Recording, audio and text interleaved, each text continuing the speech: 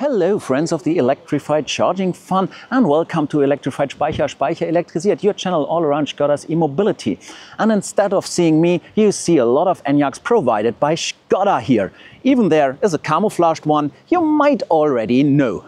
But these are not the only cars here. Look over there. There are again a lot of Enyaqs, and these are from Enyaq drivers because we've got invited by Skoda to Mlada Boleslav as some of the active members of the EV launch on Facebook. And since I'm not on Facebook, but I'm a YouTuber, I'm also invited here.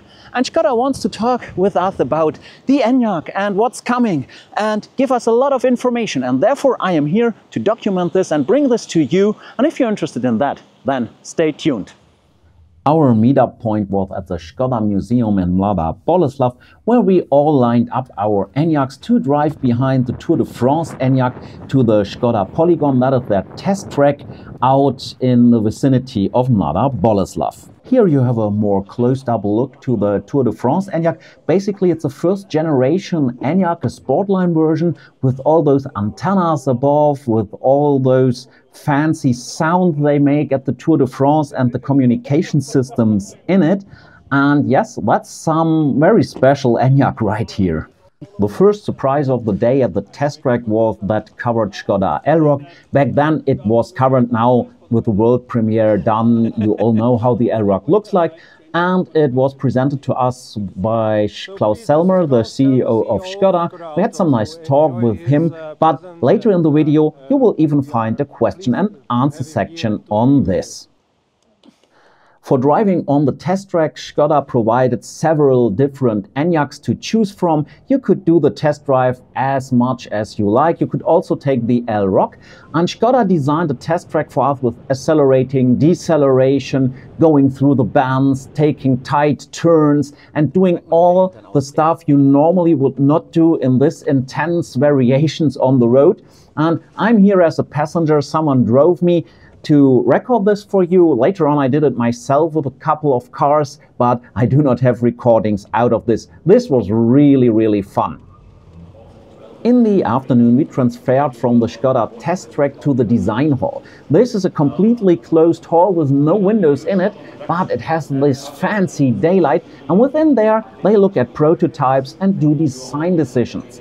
Uh, for us, there were workshops, and when we were there, there was no prototype, so we were allowed to record.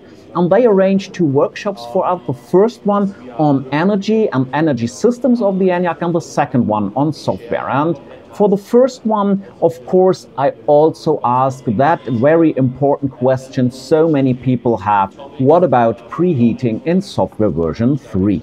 On behalf of all first generation Enyaq users, yeah. if we are talking energy systems here. You talked about problems with heat in the car, but the main problem for the vast majority is not heat, it is cold. It is what we called cold gate, and it is preheating, so getting acceptable charging power when it gets colder outside, especially in Scandinavia, but you can go to Germany as well. I bet you even experienced it yourself. What about them? We are working also on that. Yeah? I know this question, and this is the the same reason, like I mentioned before, between the switch 3.7 and 4. Yeah? We need not only switch or we, we um, climbed up one step with our battery or not battery um, um, software at all. We change the hardware infrastructure inside the car. But the hardware is there, right? Because yes. if you if you're reaching zero temperature, yeah, yeah. the battery will heat itself. Yeah, yeah. So which means that it should be technically possible to pre uh, pre preheat the battery before the charging. Yes, yes. And there is even the uh, possibility through the OBD2 connector. For this functionality, what you had mm -hmm. mentioned uh, with the OBD adapter, yes, they use an, a diagnostic feature. Yeah, yeah and with this feature, you can try to heat up for five minutes yes. or four and, and uh, 99 yes. the battery. But all the other topics which belongs to the energy system itself mm -hmm. or the energy management, not system management, yeah, inside the ICAS one, mm -hmm. they don't if you use this one, yeah, because you will switch off all the other functionalities and you only use this um, diagnose. Yeah. yeah. So this is the problem. So if you use it, I don't know, five times, ten times, yeah, mm -hmm. you heat up the battery, but the, all the other parts didn't recognize that you take out energy from the battery mm -hmm. because this is normally only for diagnostic at the dealership. Mm -hmm. Yeah. So on the other side, question, uh, back to the question um, why we uh, didn't have it right now, we are working on it, but we changed the software structure in the ICAS 1 for the energy management, meter and high volt, yeah, for the low voltage topics and sorry for the high voltage topics.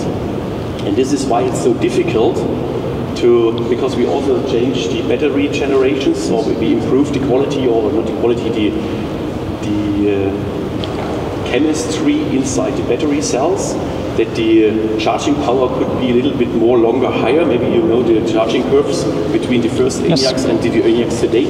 And this all include to this energy management. Mm -hmm. this is why the reason why it's so difficult but we are working on it, but I can't say. So basically, technically, everything is there in the old Enyaqs? No, no, no, no. Not even that? The actor and sensors, yes, but you have to reconnect them because in the new. On a physical level? They are, they are connected. Yes, okay. They have the signals, but on the software side. This is the reason why we have to adjust all these old software functionalities and parts with the new structure of the software from the uh, 4.0.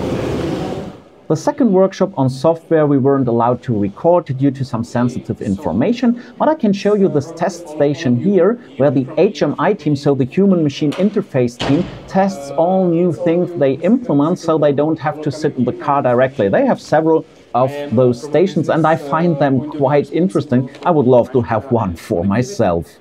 Again, again, it's nice that we meet and to uh, talk to each other. It's wonderful, so I like. Um, now it's the time for questions. Another questions, more questions, maybe the same questions than before, but ask the boss. Because uh, the boss will leave after that, so uh, and he will not leave because of your questions. Because I think you have the feeling we are open, we are touchable, accessible. So, first question. Okay. Uh, will Epiq have the lithium iron phosphate batteries? Because that, that seems to be a major trend coming out of China that you are getting cheaper batteries which last longer. Yeah. Uh, certainly cheaper. Uh, the LFP. Uh, we can't uh, we can't really tell you at this point of time our exact strategy, um, but we are very aware of exactly what you said. Yeah, the Epiq uh, at the very beginning, most probably not with the LFP, uh, but wait and see. But of course, we, we're also looking at the market, and the, the trend is massive shifting towards LFP, also for bigger size batteries now. Initially, everybody said, you know, you could, will never get an 80 kilowatt hour battery with LFP. It's happening. So, yes, it's a big one, and we're uh, watching that closely.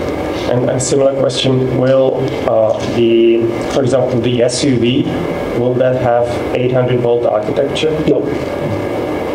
The, the SUV, so you're talking about the seven-seater, the, yes. call it the space yes. No, that's based on the MEB as we know it today. Um, and uh, that will not have 800 volt. Go to PowerPass, monthly subscription, it's nearly, for me, three times the price of an IONITY subscription. Why? Will, will Skoda PowerPass become more competitive again, or?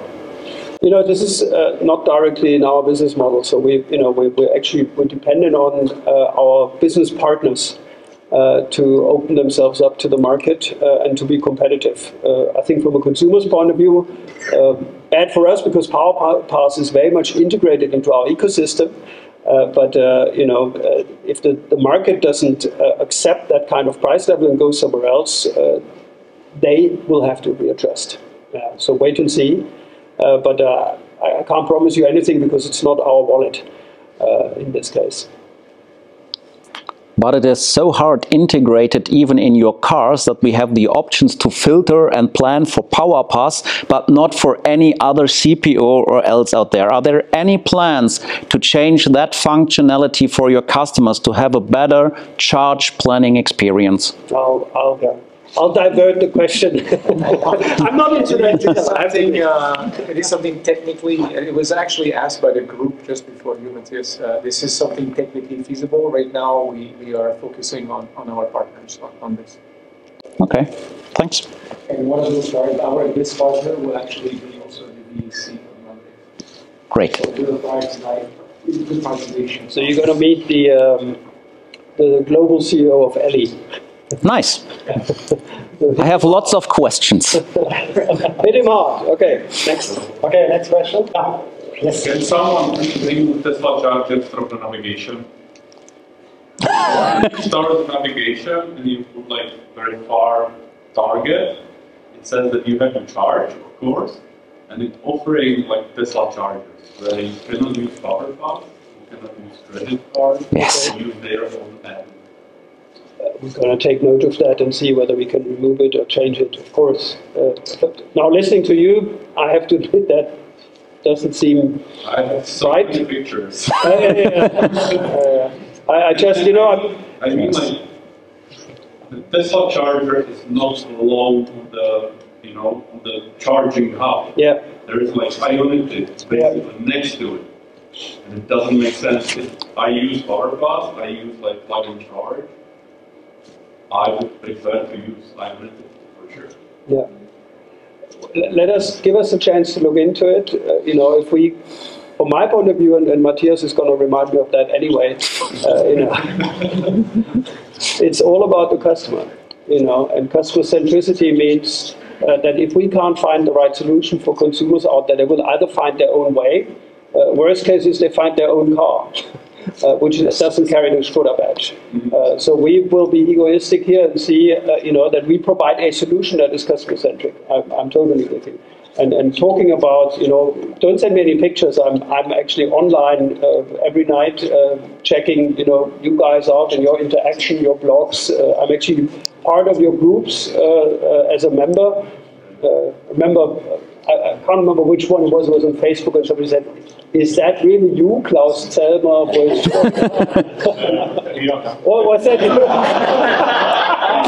I think I even said yes. I think I said yes. Um, so I'm following you guys. I'm following that, and and uh, you have some people who can uh, confirm. Uh, where's Natasha? Uh, Natasha and uh, and Eric. they uh, very often get screenshots.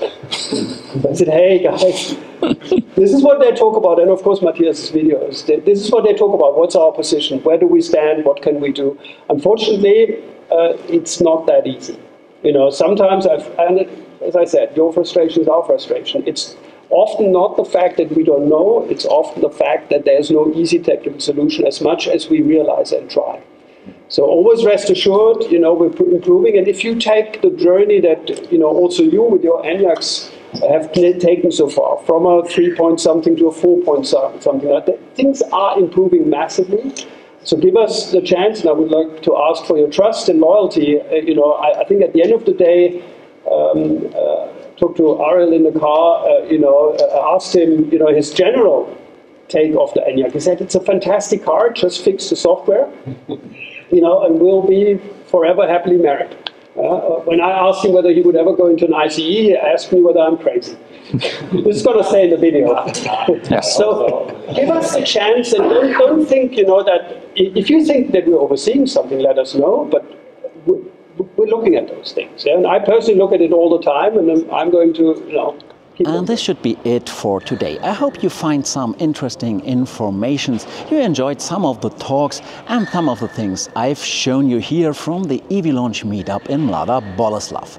Here you can have another look at the covered Elroq which hits the markets very soon and I guess this is a good background for finishing today's video. And if you like what you saw, please give me a thumbs up. Don't cons and consider to subscribe if you're not already to subscribe to my channel so you don't miss out any new video, especially here from Lada Boleslav. And then we see each other in the next one. And until then, stay full of energy.